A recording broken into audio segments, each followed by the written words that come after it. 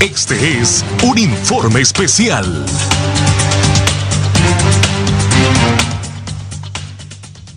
Muchas gracias, compañeros. En control principal de Hable como habla televisión eh, digital, el eh, dirigente del Partido Nacional, dirigente de base, que hace unos minutos transmitíamos de último momento que ha sido herido eh, en diferentes partes del cuerpo, pero las heridas más graves son las que trae en la cabeza. Ha sido ingresado a una clínica privada aquí en el sector de la granja. Como ustedes pueden apreciar ya la seguridad aquí es eh, extrema en este lugar donde estamos ubicados y que ha sido trasladado hasta aquí este sector, don Melvin Oyuela Aguilar, un dirigente del Partido Nacional que hace unos eh, eh, que minutos atrás o que horas atrás fue herido de bala en el sector de Comayagüela, una zona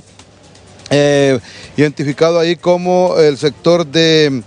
la Australia, eh, el sector de la Nueva Australia, sector 4, eh, Montes de los Olivos, sector 4 de Montes de los Olivos, donde eh, fue herido directamente, donde fue herido este dirigente del Partido Nacional, don Melvin Oyuela Aguilar, una persona dedicada a su trabajo como educador, y por supuesto como dirigente del Partido Nacional. A esta clínica privada, este centro médico aquí en el sector de la granja, sido ingresado, los médicos están trabajando, están haciendo todo lo humanamente posible, lo que está en sus manos para eh, salvarle eh, la vida a este dirigente del Partido Nacional. Eh, mientras está el tiempo, siguen llegando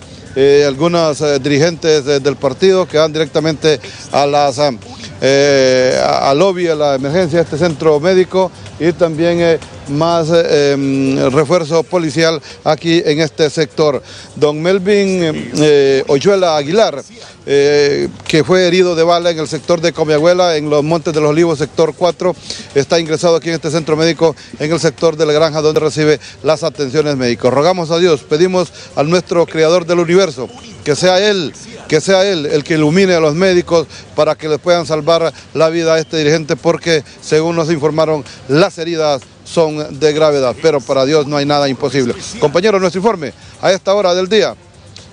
junto a Alan Francisco, el Paco, eh, Paco Velázquez, retorno con ustedes al control principal de Hable como habla Televisión Digital.